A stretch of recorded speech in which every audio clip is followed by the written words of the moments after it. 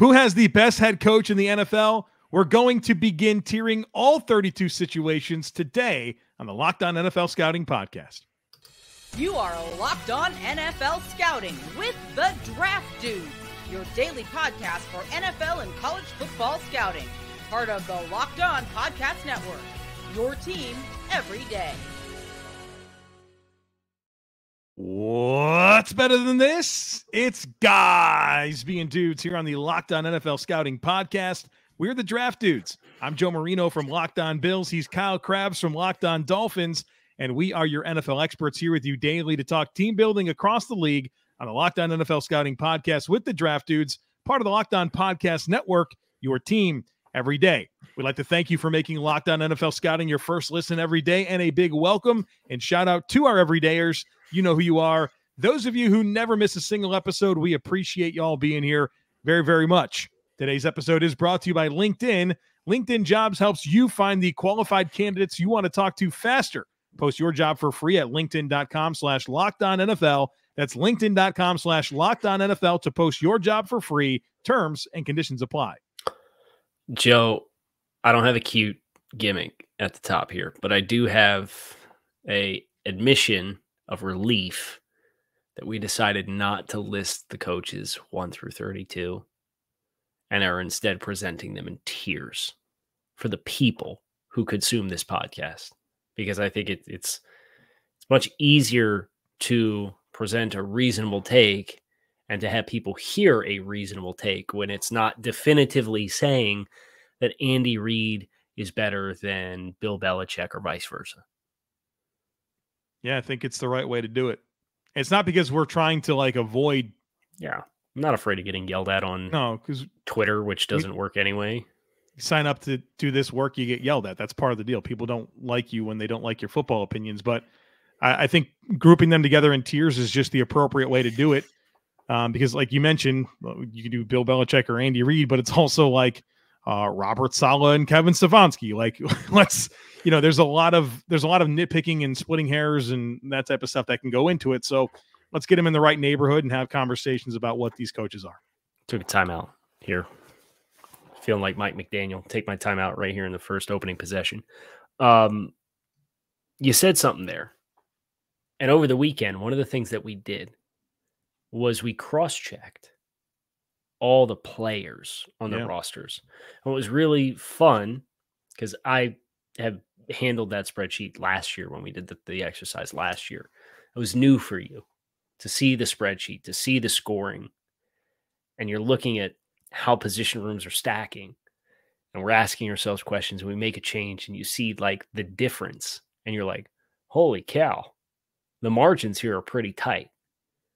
And just hearing you talk about Kevin Stefanski versus Robert Saleh and talking about how nitpicky it is. It was very cool uh, because we acknowledged when we were doing cross checks, like, yeah, that's that's the NFL margins, right? Is is it's it's razor thin in the vast majority of examples. Now, not when Houston plays Kansas City, but I think that's probably a bad example because didn't Houston play Kansas City like irrationally tight last year?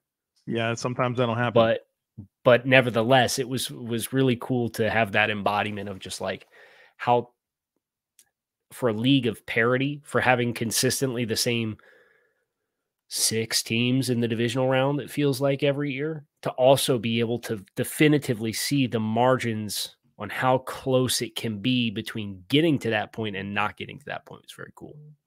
I'm pretty sure I saw a statistic uh, recently that um, no, I didn't see this is a fact that in 2022, it was the highest percentage of games settled by one score. Mm. Like ever. Ever. Slim game margins. inches, baby. Yeah. Slim margins. Life All right, so football.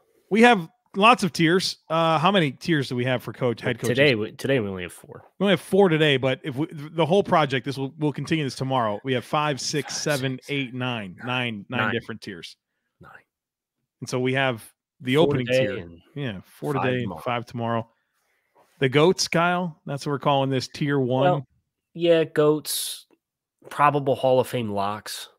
I like that. I these are all definitive Hall of Fame locks. Is what the the header on the show says is is Hall of probable Hall of Fame locks. And I don't think there's anybody that's there's one coach in this bucket that has a smaller sample size than the rest.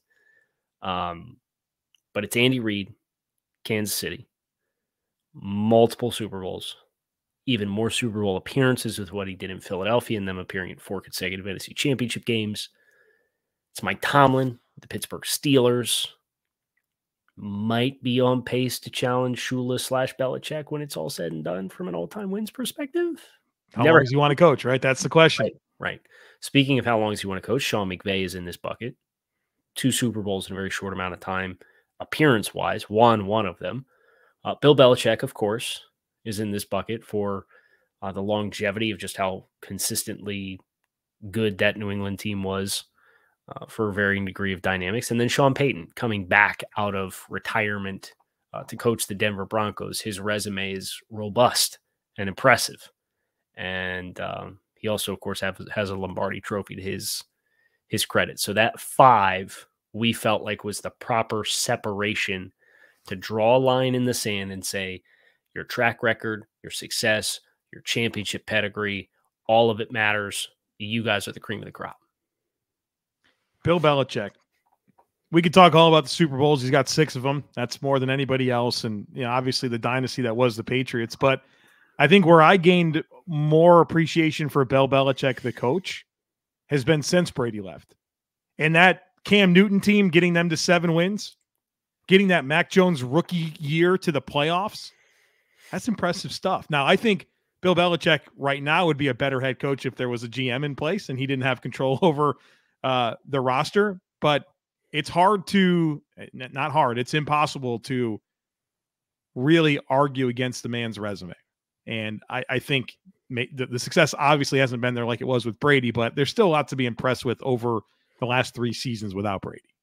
Yeah, I mean they've been they are the quintessential game of inches and, and tight margins and, and low margin for error. Like that's just the ideology that they've adopted, and they try not to beat themselves. And uh, I think the Cam Newton season is the perfect example of that. That team was not a good football team, and you know, kind of the Patriot way from a team building perspective. Not to to go down this rabbit hole again, but we've often talked about on this show uh, the the Patriot way and having a quarterback to Tom Brady's caliber on a discount and frequently targeting veterans on one year super cheap deals because people wanted to come and play with Tom and be a part of the Patriot way. And like when that goes away, that whole pipeline of like restocking your roster on an annual basis kind of withered up with it. And I think that's what you saw that first season. And then they said, oh, okay, like we got to take the bat off the shoulder in March.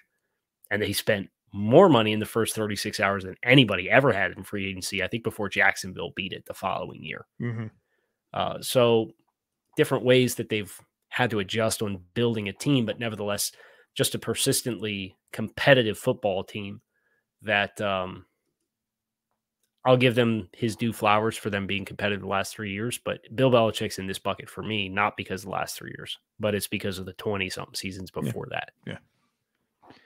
Mike Tomlin uh, rolls out of bed with a winning record, and has done so for for a really Dude, long thought, time. We thought he was dead in the water this year, right? Even like a couple years ago, you're like, I don't know, man. I don't think Ben can throw a football anymore. Like, no, he still yeah, won last, football that, games. That, that, last Ben season, I think there were what eight and eight, eight eight and one, or whatever. Got the playoffs, right? Eight seven and one made the playoffs, whatever it was.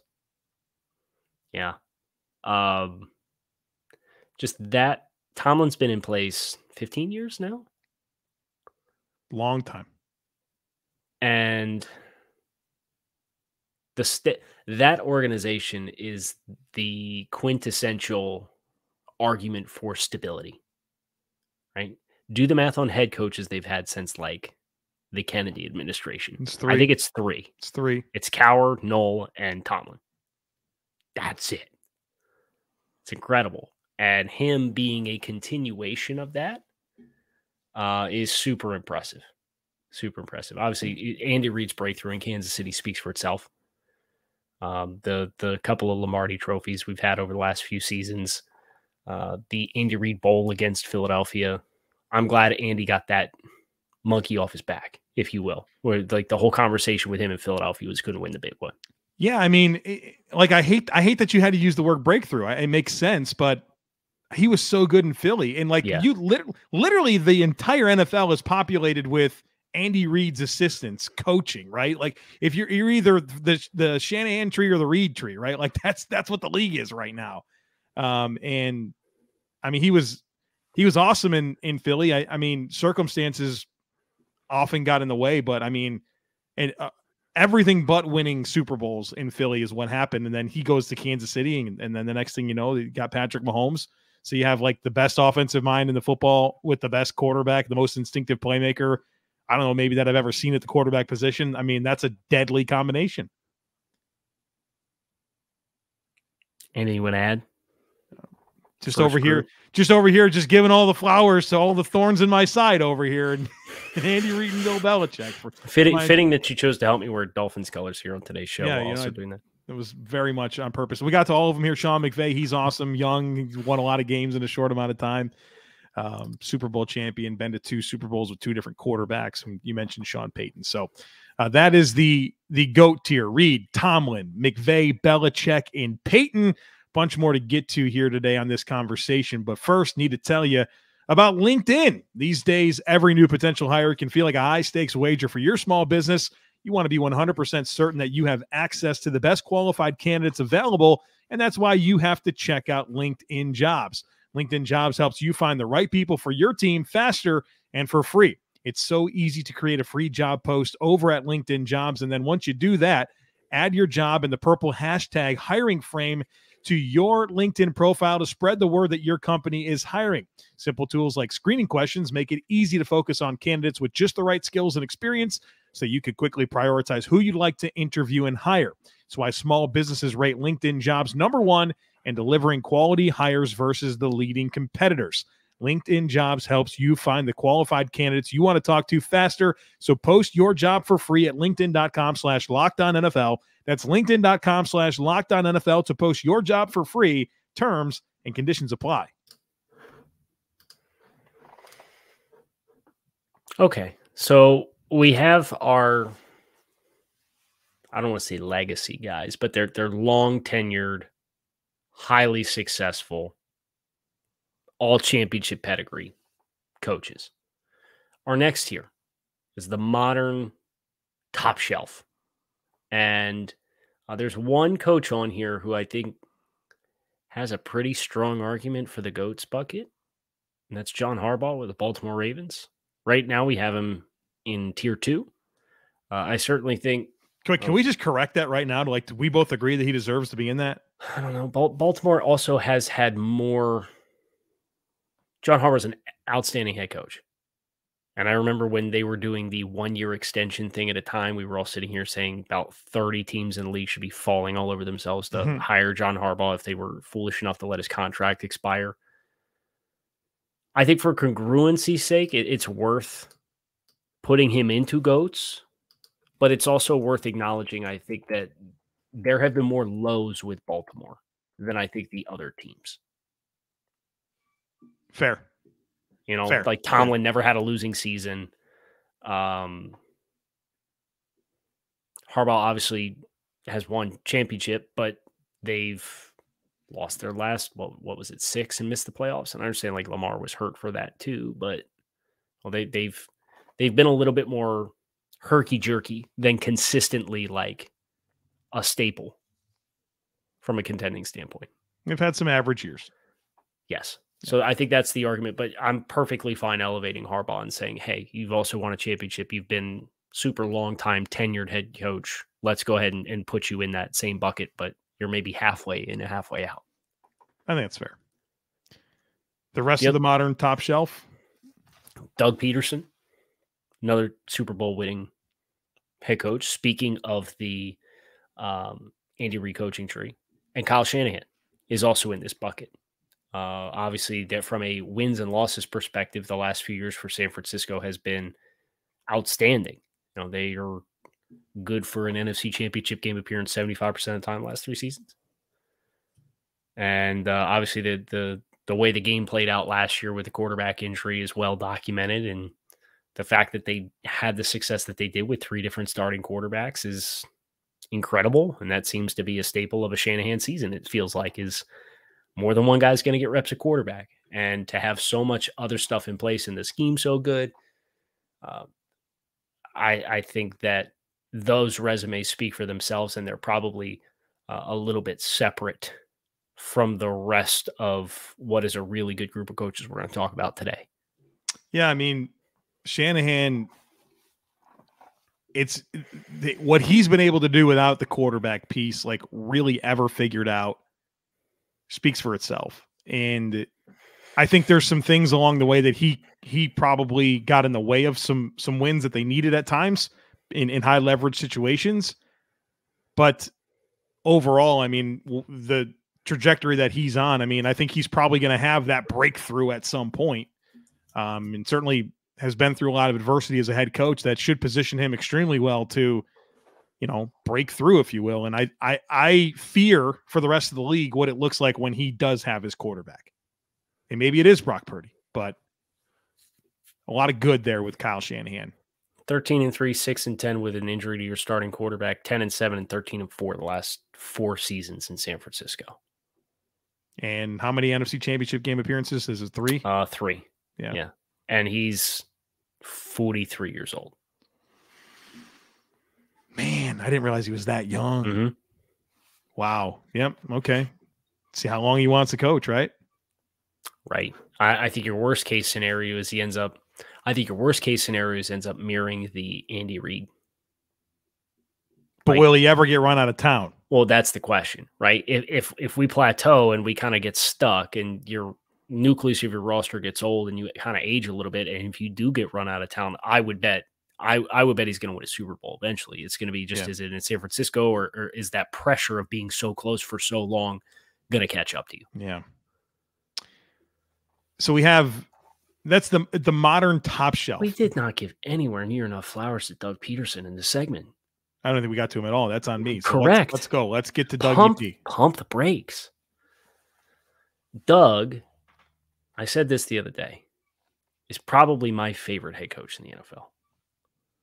Players coach, highly successful, championship, has one of the best schemes and marriages of RPOs and modern passing concepts, the growth you saw from Trevor Lawrence, the growth he facilitated out of Carson Wentz before Carson Wentz became really uncomfortable with Nick Foles' popularity with the team as the backup. What he got out of Nick Foles when it ended up being Nick Foles instead of Carson Wentz.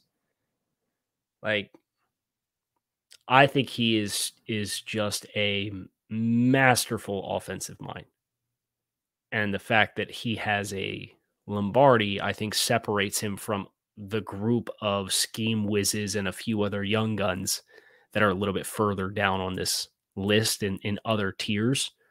Um, but if if I were if I were picking today to move forward with my franchise, you're being considerate to age, right?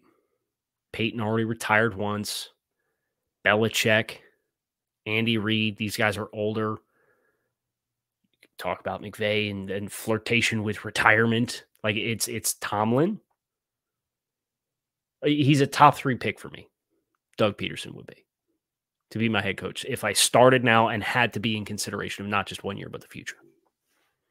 I'd agree with that. I like Dougie P. Um, I think he's a him getting Trevor Lawrence in his next gig after kind of like that year off was just crazy to me. Well played. And, and like, and it wasn't, it. It wasn't Jacksonville's top choice. What? What? What? D- Doug got hardly any offers in this cycle. What? Yeah, what was that? I, in, I have a feeling some of that's probably Doug being very selective. He's like, yeah, I'll take Trevor Lawrence. Right. Good for him. Good for him. They're going to be a problem. Uh, okay. So, well, do you want to get to the young guns here or the, the next segment?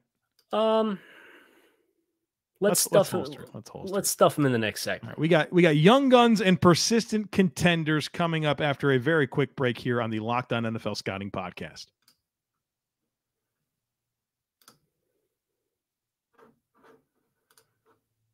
All right. We have two young guns. Uh, very, very well regarded uh, young head coaches whose teams have made championship runs. They have conference championships to their credit in the last few years. Yep. Uh, you have Nick Sirianni with the Philadelphia Eagles. Obviously, year was it year two for him last year, and they made it to the Super Bowl. And uh, Zac Taylor, who in year three they made it to the Super Bowl in, in losing to the Los Angeles Rams. So uh, I think two guys that are obviously very young, but also very aggressive. I think that's kind of the hallmark of both of those football teams is is the aggressiveness that they bring, kind of the modern flair to the game. Yeah, I, you know, with Zac, Ta- or excuse me, with um, Nick Sirianni with the Eagles, um, I know he has a very talented football team, but there's two things that I give him a ton of credit for. Uh, number one is just him pulling all the right levers. It seems in really Yeah. high leverage situations, like Yeah. the decision making, the added win, the added win probability that he added to his football team was incredible. So he credit to him for maximizing a lot of a lot of good talent. Um, but also Jalen Hurts, right? Like the development, the ascension, him unlocking his potential like very quickly with Nick Sirianni is is a big deal. Um, and and I think I'm mindful of the talent that he has in Philadelphia, but I'm also mindful of how he's maximized a lot of that. And so um, we'll see. He's he's already experienced a lot of attrition to his coaching staff, right? Very quickly. Um, so you know, I, I think he's made some good decisions on on who he's replaced them with. Um, but it feels like Nick Sirianni is going to be one of those guys that can really elevate and stay towards the top of like the respect meter when it comes to head coaches. I, I don't see his star fading anytime quickly. And there, there was just total blinders to the um, against the grain approach. Like remember Brandon Staley that year, his first year Mm-hmm. came out was super aggressive, didn't quite have his thumb on like the right calls and the right opportunities, and they left points out on the field, and then they missed the playoffs at the end of the year. And then the following year, you saw Staley in like the first half of the season. He, you could feel the adjustment for him, or not wanting to do that again. Sirianni, it, it didn't matter, and it, um, it helps to be as successful in those game situations as they were, but just there was no consideration to the outside noise about how unconventional it was. And then you have Zac Taylor, who I, I think is I don't want to say the inverse, but he just he gets out of his talent's way. You talked about Sirianni and the talent that they had. I think Taylor lets his talent do what they do best and doesn't overcomplicate the game because it's one of those roster constructions that you don't need to overcomplicate it because it, that there's a certain indefensible component with what they do well. Here's here's the Nick Sirianni stat. I'm glad you talked there because I was able to pull this up. This was uh, the top head coach in win probability added over expectation in 2022, and and the factors that went into this are fourth down decisions, two point con, uh, decisions, first half timeouts, second half timeouts, and delay a game. Nick Sirianni, number one, with adding 70.5% win probability over expectation. Number two was 51.6% Sean McDermott. And then you go that 45, 39, not many people above 30. That's just unbelievable. Talk about pulling the right levers. I mean, that's what I mean. That's what you mean when you talked about that the other day. All right. So we Those are those are your young guns. young guns. Zac, Zac Taylor and Nick Sirianni. Young, young, modern young guns. And then we have the group of persistent contenders. And I think this, when you hear these names, it's going to make a lot of sense to you. Sean McDermott, Bills, Pete Carroll, Seahawks, Mike Vrabel, Tennessee Titans. What's different about Pete Carroll is he's obviously won a Super Bowl than the other Mhm. two. Um, but I, I, I look at McDermott and Vrabel kind of similarly in that they've had a lot of regular season success and to some extent close postseason extent. Yeah, Yeah, they've, they- been, close but you know haven't necessarily gotten him over the hump. And I, I think Vrabel certainly has the crutch of saying he hasn't had elite quarterback play at any point in his, in his tenure in Tennessee. Um, but you know Sean McDermott certainly has had a lot of talent in Buffalo, and he's been close. But obviously, there's a little bit more for him to prove that he can take a team to the Super Bowl. Um, and that's what I think separates him from some of the, well, not some, pretty much all of the of the coaches that were in the tiers of, above him. Um, so McDermott, Vrabel, Carroll here in the persistent contenders bucket. It's a really strong group of coaches. I think that's why it was important for us to again reiterate the concept of tiers. Mm-hmm. Yeah, really hard to kind of suss out the the order of these guys because the Vrabel is has in my mind, especially out of this group, gotten the most with the least. I think you can make the case that Mike Vrabel's gotten more out of his team with less than any of the coaches we've talked about today. No question. There's no question. And that's acknowledging having AJ Brown and Derrick Henry and some good play with Ryan Tannehill, but some also not very good play with Ryan Tannehill. If there's something about Vrabel that bothers me is how much credit in a bad way do we give him for their style. That's where I get nervous with Vrabel. Is this who he is? Is he a is he a ground and pound bully yes. ball? Well, that's what they are, and that's yes. going to be tough for them. They're going to be good all the time, but will they ever be great? It's the Patriot way, Joe. Well, that concerns me. but I think that the reason why it works for Vrabel and Vrabel, Vrabel obviously a former player of Bill Belichick's, is he certainly has his own staple, and they've also been a pretty aggressive team in the past, if my memory serves me correctly. He's gotten better, but like he was really goofy. His couple first few seasons, he was very goofy with like in-game decisions and timeouts and all that type of stuff. He's gotten better. So I don't know. They're they're a low margin for error football team. I think that's a perfect way to describe it. But I I am most fascinated what it will what that transition is fully going to look like when you don't have Derrick Henry. Yeah. Because he is such a cornerstone piece of who you are and what you do. And you don't go looking for the next Derrick Henry. Right. That's a that's a first class ticket to getting disappointed. Right. Right. Good group of coaches though. Yeah. A lot of success. So you have Reid, Super Bowl, Tomlin, Super Bowl, McVay, Super Bowl, Belichick, Super Bowl, Payton, Super Bowl, Harbaugh, Super Bowl, Pederson, Super Bowl, Shanahan, conference championship wins, Sirianni, conference championship wins, Zac Taylor, conference championship win. McDermott, second best win percentage in the league last four years. Is that correct? He's also the only coach in the league that's won a playoff game in each of the last three seasons. Pete Carroll, obviously Super Bowl win about a decade ago, but you know they have been consistent, persistent contenders over that stretch. And the Titans, up until last season, had six consecutive winning seasons. So a lot of rich, proven track records here in the first half of this.